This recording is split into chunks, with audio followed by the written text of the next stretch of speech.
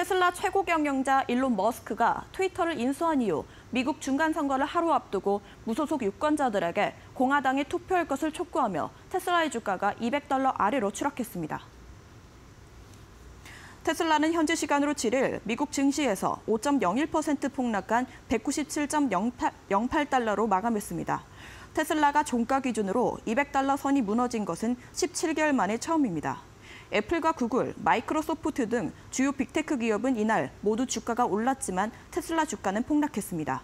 테슬라 주가는 장중 196.66달러까지 밀리면서 52주 신저가 기록을 경신했습니다. 이는 최고 경영자인 일론 머스크가 트위터에 중간 선거에서 공화당을 찍으라고 독려한 영향으로 풀이됩니다.